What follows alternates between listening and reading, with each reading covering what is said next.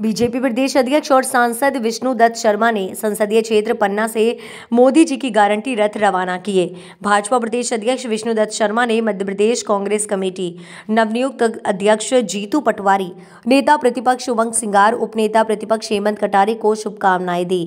BJP प्रदेश अध्यक्ष और विष्णु दत्त शर्मा ने संसदीय क्षेत्र पन्ना से मोदी जी की गारंटी रथ रवाना किए नए युवा प्रदेश अध्यक्ष बने हैं जीतू पटवारी जी उन पर आपका क्या कहना है?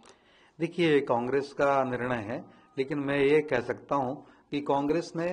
ये कांग्रेस ने फुट, अगर फुटबॉल की भाषा में कहें तो सेल्फ गोल कर लिया या क्रिकेट की भाषा में कहें तो इसको हेड विकेट कर लिया क्योंकि जीतू पटवारी जी देखिए अभी चुनाव हारे भी हैं और एक हारे के सहारे कांग्रेस हो रही है प्रदेश की। और जिस प्रकार से जीतू पटवारी जी का मीडिया डोमेन में एक बयान भी वायरल होता है कि पार्टी गई तेल लेने मेरा ध्यान रखिए तो इससे कार्यकर्ताओं में एक नेगेटिव संदेश जाता है कांग्रेस के। तो कांग्रेस के कार्यकर्ताओं में नेगेटिव संदेश उत्साह का वातावरण तो होगा ही नहीं, निराशा का भाव आया।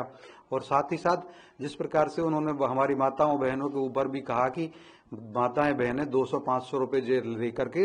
एक अधो वस्त्र में रख लेती हैं, एक पर्टिकुलर शब्द प्रयोग किया था, वह मैं नहीं बोल सकता हूँ। तो इस प्रकार से माताओं बहनों का अपमान भी वो करते हैं, साथ ही कार्यकर्ताओं को एक बार उन्होंने हाथापाई कर दी थी कार्यकर्ताओं के साथ में, जब वो मंत्री थे पंद्रह महीने की कमलनाथ की सरकार में तो कार्यकर्ताओं में निराशा है। और साथ ही साथ नफरती हिंदू उन्होंने कहा कि मध्य प्रदेश की जनता और भारत की जनता में नफरती हिंदू हैं। सनातनियों का एक तरह से विरोध किया और अपने आप को वात्सल्य प्रेमी हिंदू वत्सल बताया।